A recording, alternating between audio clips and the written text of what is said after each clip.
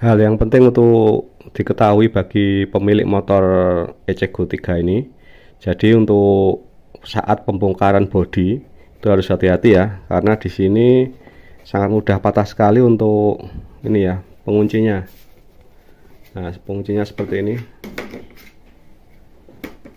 Nah ini tipis sekali. Jadi ini mudah patah ya kalau patah nanti akan sulit untuk menutup dengan sempurna. Nah, tipis sekali ini untuk pengaitnya.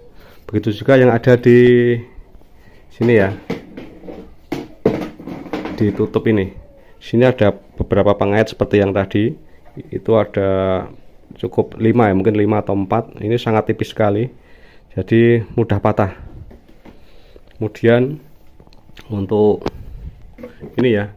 Jadi untuk percikan air bisa menjangkau untuk sampai masuk ke dalam sini ruang perkabelan yang ada di sisi depan ini jadi sangat bahaya untuk rawan konslet ya, ini ini lumpur-lumpurnya ini ya terlihat nih Nah, ini sangat bahaya karena di sini masih ada celah atau lubang ya.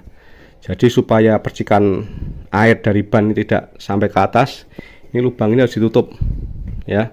Nanti akan saya tutup biar lebih aman karena rawan untuk konslet ini. Ya, ini sampai naik ke atas ini ya. Nah, ini pasenya sampai ke atas ini. Jadi rawan konslet ini. Ini harus dikasih penutup biar lumpur tidak naik ke atas atau air tidak naik ke atas. Dan untuk yang sisi belakang. Untuk belakang cukup aman ya tidak ada kotoran ini sampai ke masuk ke dalam. Cukup aman untuk di bagian dalamnya. Nah, kemudian untuk penyebab air masuk ini ya masuk ya di video yang saya sebelumnya ini.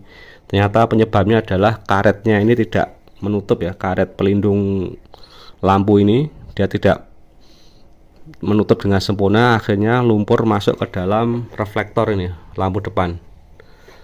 Jadi biar aman ini untuk lubang ini kita tutup biar tidak air masuk ke sampai ke atas atau ke dalam lampu.